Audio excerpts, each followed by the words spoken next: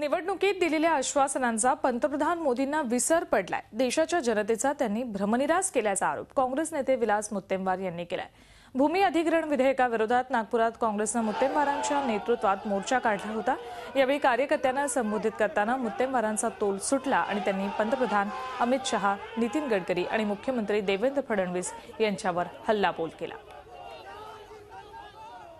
बर्बाद कर दिया. तुम्ही आबाद करून राहिले. काँग्रेसने लूट लिया. तुम्ही काय करून राहिलेले?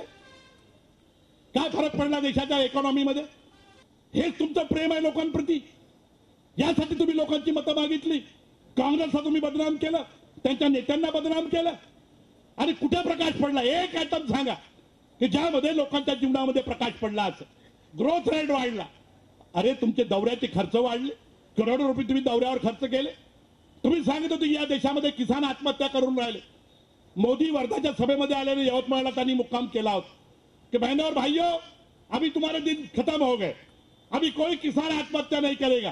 मैं आ गया हूं. अरे तुम आ गए? यवतमाळ जिल्ह्यामध्ये एवढ्या आत्महत्या. झी चोवीस तास. रहा एक पाऊल पुढे.